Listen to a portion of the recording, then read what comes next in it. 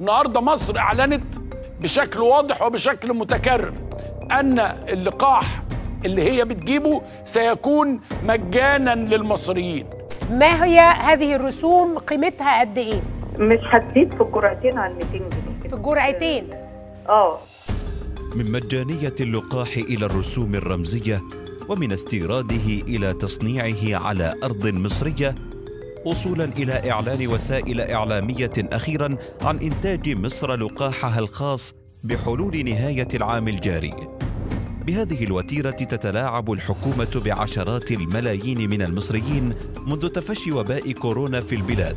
فبعد أن أعلن عبد الفتاح السيسي توزيع اللقاح مجانا على جميع المواطنين أعلنت وزيرة الصحة تلقي الحكومة رسوما نظير الحصول عليه تقدر ب 200 جنيه للجرعتين.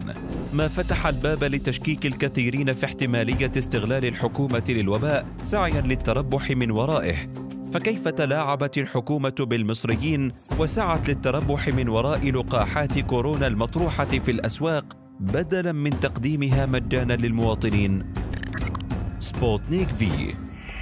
في وقت يعاني فيه المصريون من تفشي الكورونا وتعجز الدولة على توفير الجرعات اللازمة من اللقاح لتجاوز الأزمة سمحت الحكومة لشركات خاصة على رأسها شركة برايم سبيد للخدمات الطبية والمملوكة لرجل الأعمال المقرب من الجيش تامر وجيه باستيراد اللقاح الروسي من الخارج وبيعه للمواطنين بسعر لا يتجاوز 200 جنيه.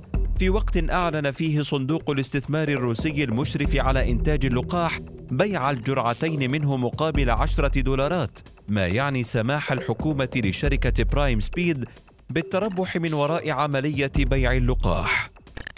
سينو فارم اللقاح الأول الذي وصل مطار القاهرة. كان ذلك الذي أنتجته الصين ورغم إعلان الشركة المنتجة له عن نتائج الاختبارات السريرية التي سجلت نسبة فعالية تقدر ب 79% في أكثر تقدير إلا أن الحكومة وافقت على استلام 50 ألف جرعة من اللقاح مهداة من دولة الإمارات. وفي مفاجأة لم تتوقعها الحكومة نفسها رفض أكثر من نصف الأطباء العاملين في مستشفيات العزل تلقي اللقاح الصيني نظرا لنسبة فعاليته الضئيلة مقارنة بلقاحات أخرى. أسترازينيكا أدركت الحكومة سريعا ضرورة الوصول للقاح آخر فوجدت ضالتها في لقاح أسترازينيكا البريطاني الذي عملت على تطويره جامعة أكسفورد العريقة حاولت الحكومة جاهدة إقناع الشركة البريطانية في إنشاء مصنع لها في مصر سعيا للحصول على اللقاح مجانا. لكن سوق العمل المصري الذي لا يتناسب مع معايير الشركة دفعها إلى الاتجاه نحو أستراليا لإنشاء مصنعها الثاني هناك. الرفض البريطاني لعرض الحكومة دفع وزارة الصحة لطلب الحصول على اللقاح من الشركة بمقابل مادي وهو ما اتفق الطرفان عليه لكن المفاجأة كانت بإعلان الحكومة عن تلقي رسوم نظير توزيع اللقاح تقدر ب 200 جنيه مصري. في الوقت الذي أعلنت فيه شركة أسترازينكا طرحها للقاح مقابل ثلاثة دولارات فقط أي ما يعادل 47 جنيها تقريبا.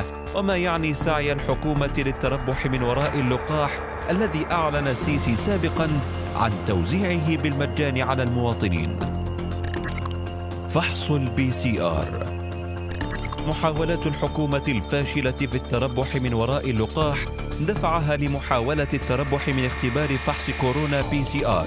فبعد أن رفضت وزارة الصحة إجراء الاختبار بصورة دورية للكوادر الطبية أعلنت عن رفع سعره إلى 1200 جنيه للمواطن مع اشتراط القيام به قبل مغادرة البلاد وفور الوصول إليها. لكن الحكومة لم تكتفي برفع سعر فحص ال PCR بل سمحت لبعض المعامل الخاصة بإجراء الاختبار للمواطنين ما فتح الباب للتلاعب بأسعار الفحص في تلك المعامل وفقا لوسائل إعلام محلية.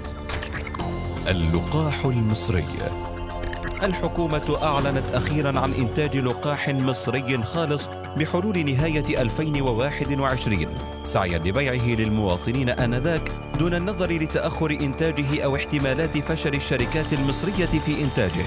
في وقت يحتاج فيه المصريون للقاح بشكل عاجل. ولماذا تأخرت الحكومة في طلب اللقاحات التي أثبتت فعالية عالية في مواجهة الفيروس مثل لقاح فايزر الأمريكي؟ وأين ذهبت القروض التي تلقتها مصر من صندوق النقد الدولي لمواجهة الوباء ولماذا تبيع الحكومة اللقاح لمواطنيها بمقابل مادي أعلى من سعر استيرادها له؟